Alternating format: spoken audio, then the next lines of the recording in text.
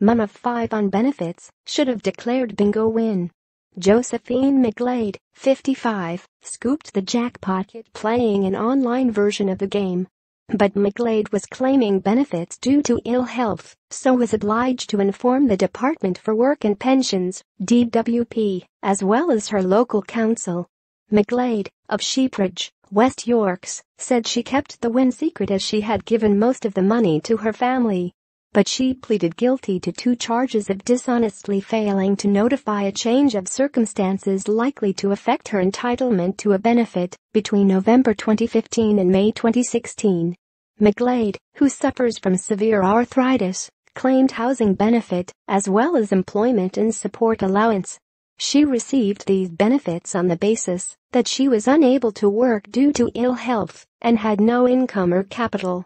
Jill Sutton, prosecuting, told Kirklees Magistrates Court the money was paid into her account and she was aware that she must let the DWP know about any change of her circumstances. Information then came to light that she won £74,989 from an online gambling site in October 2015 which was paid into her Royal Bank of Scotland account.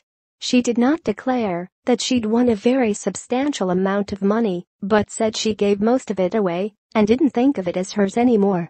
McGlade received benefits totaling £5,700 as a result of the fraud, magistrates heard.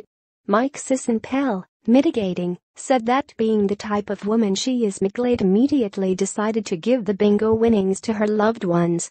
She gave her son money to buy his £60,000 council house because she believed that she would just fritter it away.